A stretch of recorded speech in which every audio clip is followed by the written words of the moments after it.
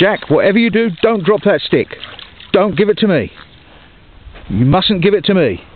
I want you to just stand still, no run away. right, Jack, be brown. Good boy. Roxy, be a pain in the arse. Good girl.